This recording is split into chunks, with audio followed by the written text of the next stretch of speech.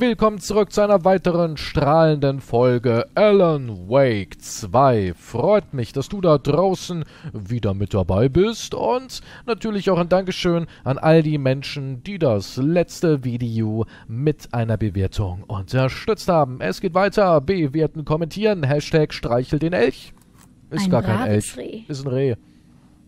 Ich wusste es sogar. Ich, keine Ahnung. Elche sind niedlich. Findet irgendjemand da draußen Elche niedlich? Bestimmt. Bestimmt. Es gibt bestimmt große Elchfreunde. So, wir sind hier stehen geblieben und wir haben den Schlüssel von der guten alten Rose. Wir können uns hier jetzt ein bisschen umsehen, alles ein bisschen genauer analysieren. Wir zum Beispiel diese Schublade öffnen, in der sich rein gar nichts befindet. Super mega spannend. Aber wir können auch diese Batterien looten. Boah, ist ja alles milchig trüb, ne? Oh Mann, oh Gott. Verwüstet Hotelzimmer und ruinierte Pools. Die Menge tobt auf der Old Gods of Asgard Tour. Die Rock'n'Roll-Band Old Gods of Asgard hinterlässt auf ihrer treffend benannten Ragnarök-Tournee durch die größten Städte der USA ein Chaos. Die Band bricht ihre Verkaufsrekorde, ihre Singles stehen an der Spitze der Charts und letzten, ihr letztes Konzert in Long Beach, California war ausverkauft.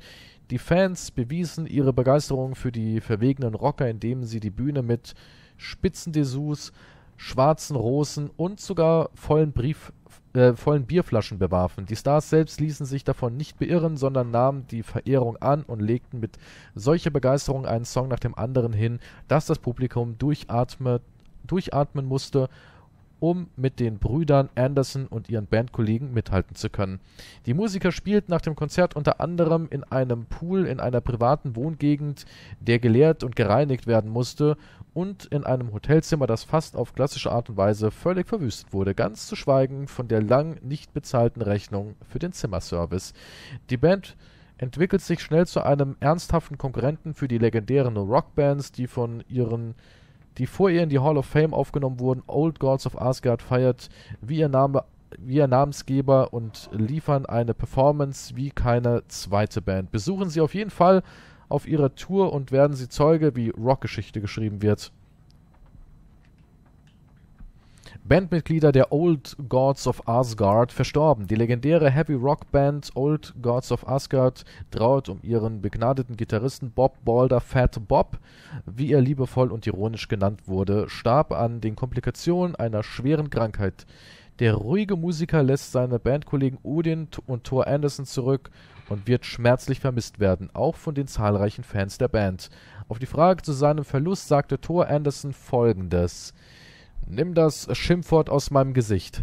Balder ist jetzt in Valhalla, er hat den Krebs heldenhaft bekämpft. Bob war für diese Welt eine zu schöne Seele, fügte Odin hinzu. Was dies für die Band und ihre kommendes Album bedeutet, bleibt abzuwarten. Rockmusik ist die uralte Sprache der Seele, meint der Leadsänger der Old Gods of Asgard. Kann ich nur so äh, unterschreiben. Ich treffe mich mit den Anderson-Brüdern von Old Gods of Asgard in der Lobby eines heruntergekommenen Hotels irgendwo in der Innenstadt von Detroit. Die derzeit auf ihrer Ragnarök-Hit-Tour befindlichen Bandmitglieder haben nur einen Augenblick Zeit für einen jungen Journalisten und seine Fragen, bevor sie sich auf dem Weg zum Soundcheck für ihr Konzert heute Abend begeben. Äh, Frage, wie war der Empfang? Tor, unglaublich. Die Fans wissen, worum es uns geht. Sie kapieren den Rock'n'Roll, sie begreifen die Stimmung, sie wissen, dass wir nicht hier sind, um äh, zensiert. Odin, das ist zensiert richtig.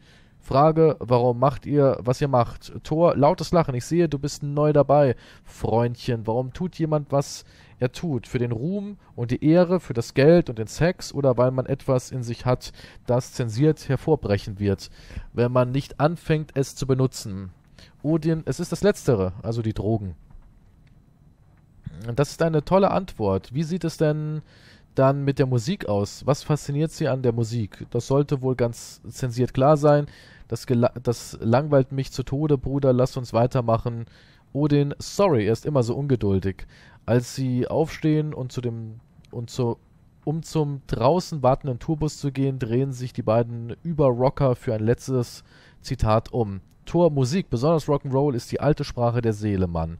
Sie ist in mir, sie ist göttlich und sie bekommt und sie kommt heraus wie ein Donnerwetter. Alright. Ganz viele Rock-Interviews. Das sind halt noch so richtige Rocker, vor denen man Respekt hat, die man huldigen will. Dankeschön Angus für den. Jumpscare. Das ist sie. Aber sie ist weg. Cynthia sie hat die weg. Platte. Geil. Cynthia hat sie. wird mir sagen, wo ich sie finde. Wird sie das in deinem Gedankenrefugium? Cynthia hat es auf Thor abgesehen. Warum auf ihn? Kümmere dich um den fiesen Anderson. Sein Herz war gebrochen. Annulliert. Lücken taten sich auf. Es war zu spät. Hat sie aus ihrem eigenen Fall ausgeschlossen. Das Dunkel benutzt Cynthia, um mich von Thor fernzuhalten. Wo ist Angus Remorse jetzt? Aufgeregt wie ein junges, verliebtes Mädchen. Ein Rock'n'Roll-Klischee. Die Schatten erwachten zum Leben. Ein Geschenk. Ein gelegentlicher Todeswunsch. Sie hat die Platte. Ich kann es aus ihr rausquetschen. Okay, dann foltern wir sie. Angus Remorse. Wo ist sie, Cynthia? Im dunklen Wasser ertrunken. So viele Hände. Das Badezimmer machte ihr Angst. Verklotzt. Sie schrie. Ein Pflegeheim.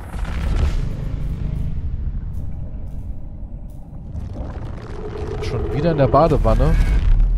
Wie bei Alan Die Wake. Platte Angus Remorse ist bei Cynthia. In ihrer Badewanne.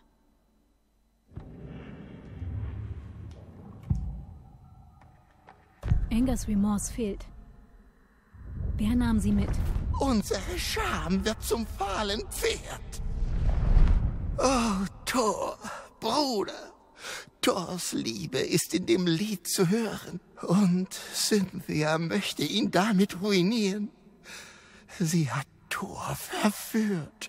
Vor Jahren bekämpften wir eine kratzende Hexe. Jetzt ist er wieder einer verfallen. Wir verlieren ihn vielleicht für immer. Ein Anderson weniger. Das wird nicht passieren. Cynthia hat Thor im Übergang. Angus Remorse ist der Schlüssel. Ich muss Cynthia dazu bringen, den Standort preiszugeben. Alright. Was gibt's hier noch? Übergang-Ritual. Schallplatte.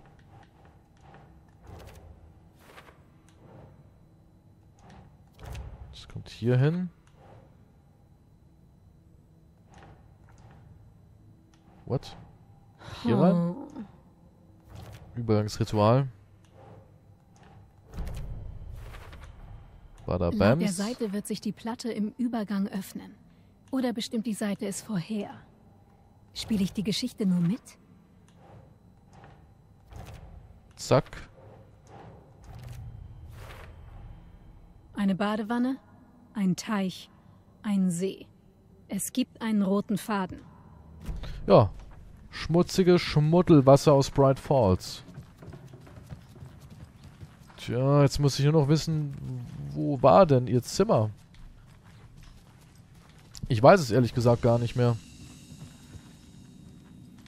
Lass mich hier ganz kurz speichern, auf Nummer sicher gehen. Man weiß ja nie.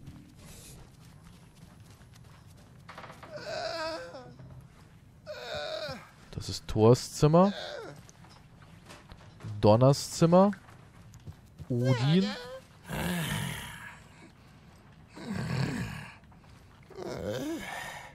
Durchhalten. Ich werde Thor retten.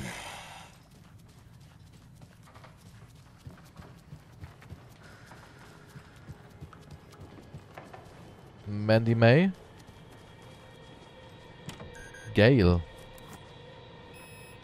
Warum ist jetzt auf einmal so eine angespannte Melodie hier am Start?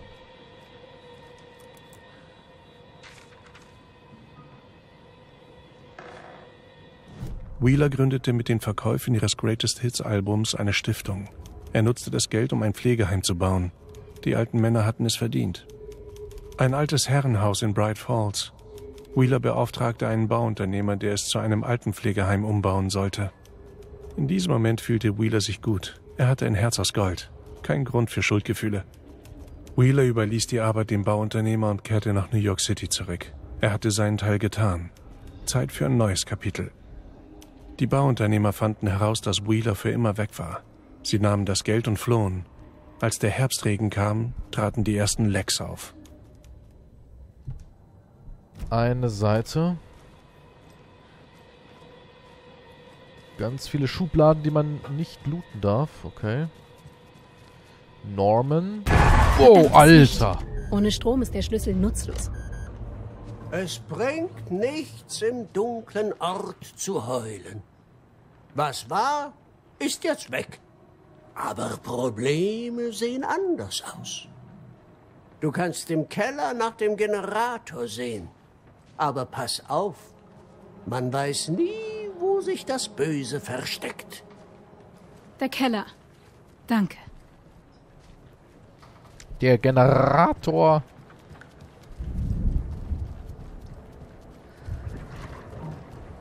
Der alte Rabe.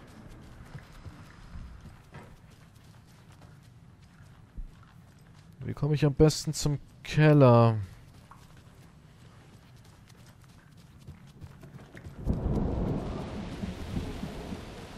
Das ist Seniorenheim.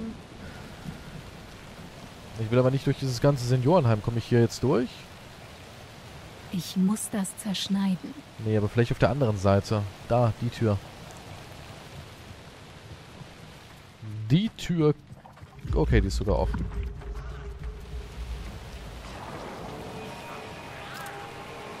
Was sind das für Geräusche? Das ist sehr beunruhigend.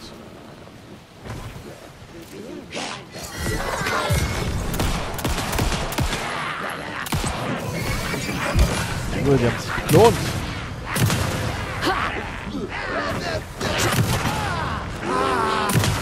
Alter, was ist denn mit der Oma?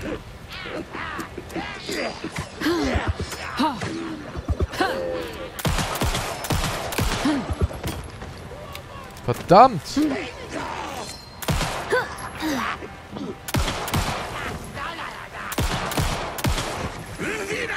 Er hat schon so viele Kugeln gefressen. Geht drauf, Alter, geht drauf. Irgendwas an Loot verloren? Ah, Natürlich nicht. Natürlich nicht.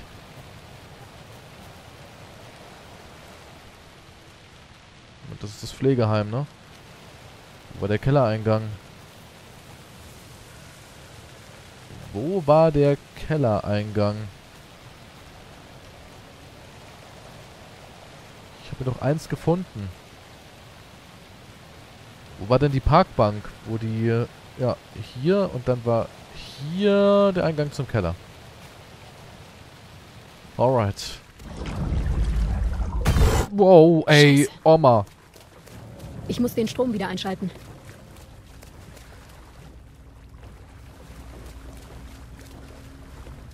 Ja, aber wo? Na, hier waren wir ja schon drin. Ich habe die Sicherung, aber wo muss die Sicherung rein? Wo muss sie rein? Ah, hier. So, der Besser. Strom ist wieder an. Viel, viel besser. Scheiße. Sch Vorsicht, Saga.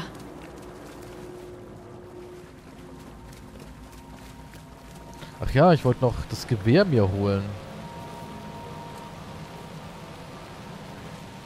Oh, Gewehr, Gewehr, Gewehr. Irgendwo soll ich über die Keycard an Schlüssel rankommen. Haben die Leute geschrieben. Dass ich das wohl jetzt schon holen kann.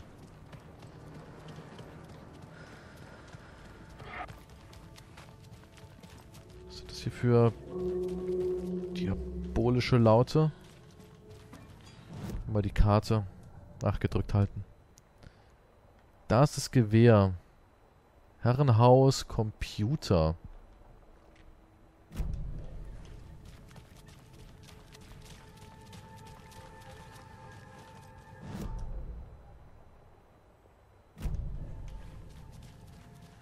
Hier waren wir drin.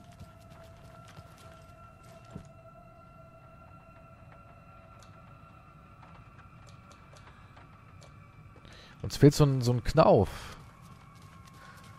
Die Tür ist an sich offen, aber irgendwie fehlt uns der Knauf. Frage ist nur, wo, wo kann ich mir den holen?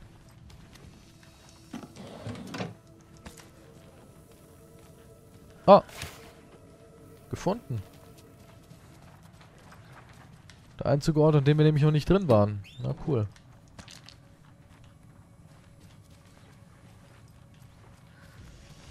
Hier ist sonst nichts.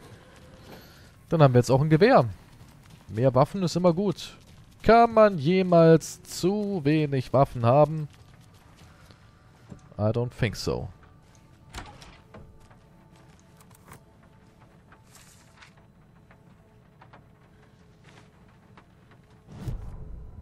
Ilmo war nervös. Seine Handflächen waren feucht. Er senkte sein Telefon. Mulligan hebt nicht ab. Jakko schüttelte den Kopf und deutete auf sein eigenes Telefon. Thornton auch nicht. Ilmo gefiel das nicht. Auch in der Werkstatt in Watery ging niemand ans Telefon. Irgendwas war los. Es musste der Schriftsteller sein. Das musste einfach so sein. Die Koskeler-Brüder kauerten im Gebüsch gegenüber der Elderwood Palace Lodge, deren Lichter in der Nacht leuchteten. Sie konnten nicht länger warten. Sie wussten, dass Saga in Watery war, um ihren Wohnwagen aufzusuchen. Jetzt zu gehen war die einzige Chance, es zu tun, ohne sie zu verletzen. Ilmo stand auf und eine Schar von Hirschmasken fixierte ihn. Okay, es geht los. Der Schriftsteller ist das Ziel. Wenn er ausgeschaltet wird, ist alles vorbei. Er schießt den Fäden nur, wenn es sein muss. Dies ist unser großer Moment. Wir wachen in der Nacht. Die Menge stimmte mit ein. Ilmo drehte sich zum Hotel um. Er konnte Sagas Partner im Fenster sehen. Ilmo klopfte seinen Bruder auf die Schulter. Die Brüder setzten ihre Masken auf. Der Kult des Baums war bereit.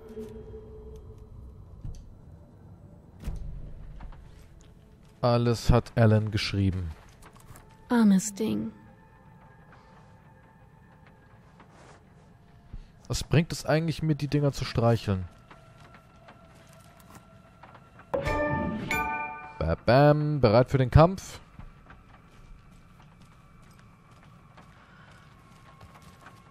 Ein Gewehr mit fünf Schuss, nice.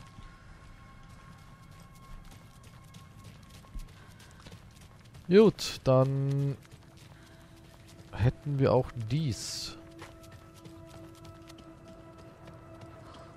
Damit keiner sagen kann, oh, der Kies, der ist mir da wieder durchgerannt und hat nicht das Gewehr geholt. Ungenießbar. Ungenießbar, das Let's Play.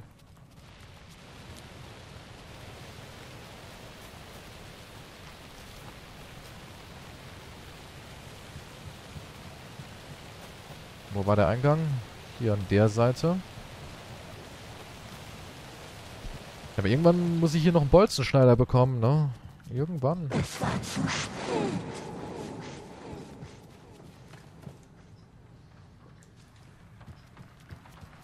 Alright. Sie war unter Wasser. War das noch weiter oben? Ja, ne? Kann ich speichern? Ah, wird schon klappen. Er hatte es verdient.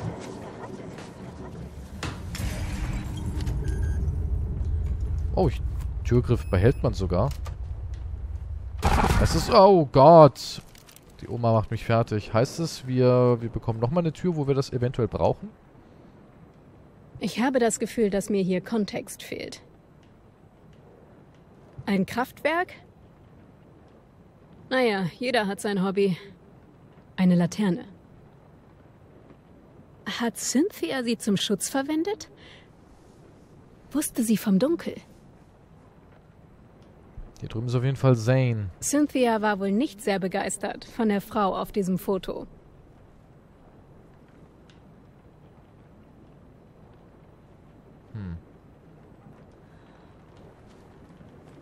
Mehr geht hier nicht. Thor ist ein Romantiker, hm? Für eine sehr besondere Frau, Thor.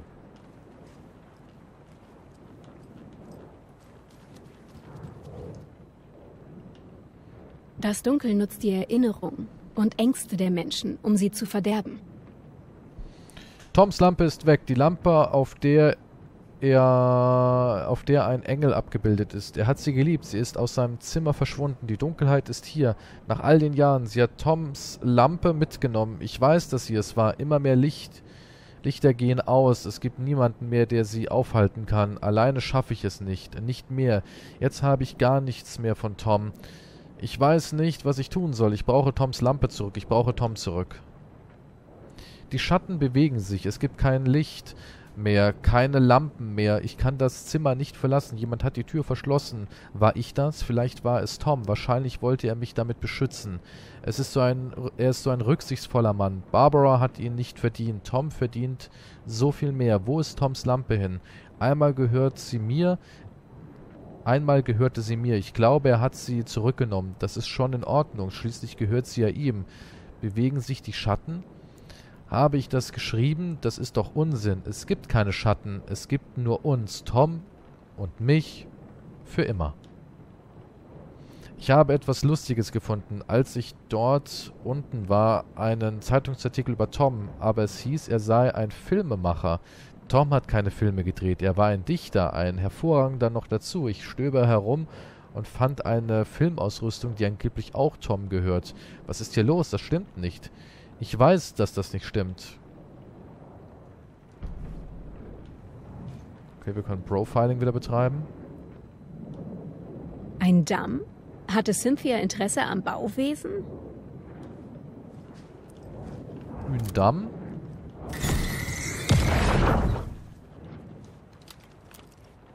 Noch eine Cynthia Seite. würde sich um den fiesen Anderson kümmern. Thor, der immer mit seinem Hammer auf die Leute einschlug.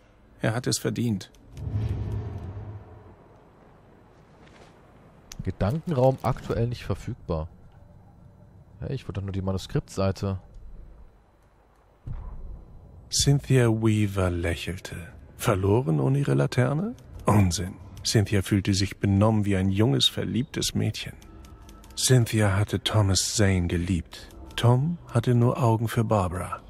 Barbara brachte aber nur Ärger mit sich. Tom hatte es am Ende eingesehen. Cynthia war da gewesen, um ihn zu trösten. Und als er ging, wartete Cynthia. Jahre des Wartens. Jetzt war Tom zu ihr zurückgekommen. Sie würden jetzt zusammen sein, die Welt sehen. Sie hatte immer davon geträumt, New York zu sehen. Jetzt waren sie dort in einem schicken Hotel. Sie ließ ein Bad ein. Sie würde wie Barbara werden. Nein, besser. Sie versank im dunklen Wasser. In Tom. Tom hatte Feinde, die sich gegen ihn verschworen hatten. Cynthia würde sich um den fiesen Anderson kümmern. Thor, der immer mit seinem Hammer auf die Leute einschlug. Er hatte es verdient. Für Tom würde sie alles tun. Alright, wir haben die Platte. Angus Remorse von Old Gods of Asgard. Muss ich auf der Jukebox abspielen. Alten Asgard-Götter.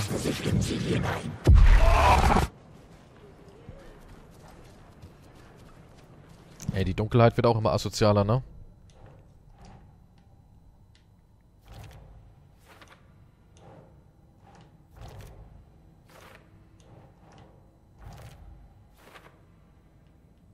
Hm. Eine Sache fehlt mir noch, interessanterweise. Aber was? Aber wie, aber wo, aber was? Uns mal ganz kurz hier reingucken.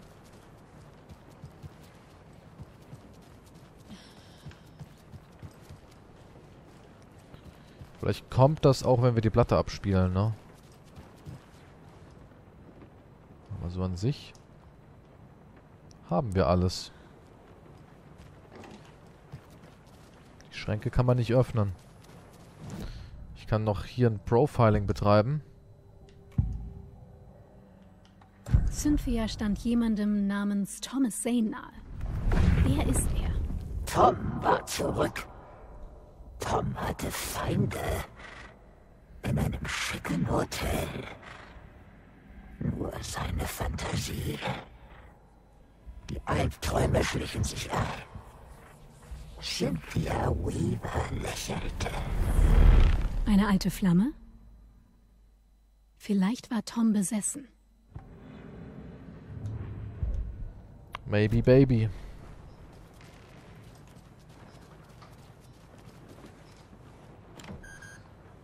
Hm, die Tür interessiert mich.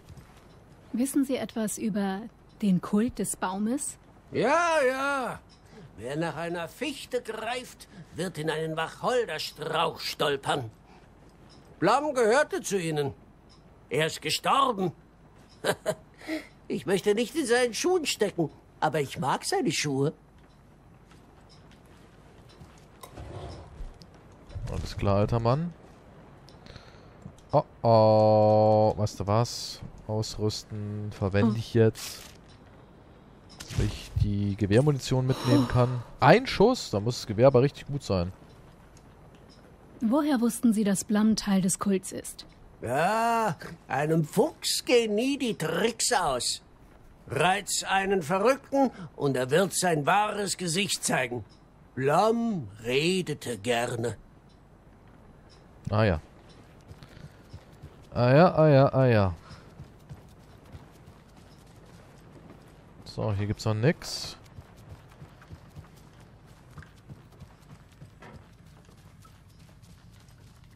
Äh, speichern wir. Und ich würde sagen, hier ist ganz gut für einen kleinen Break.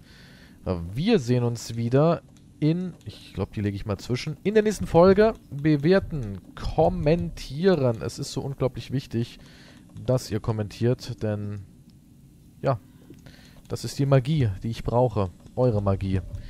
Bis zum nächsten Mal. Auf Wiedersehen und tschüss!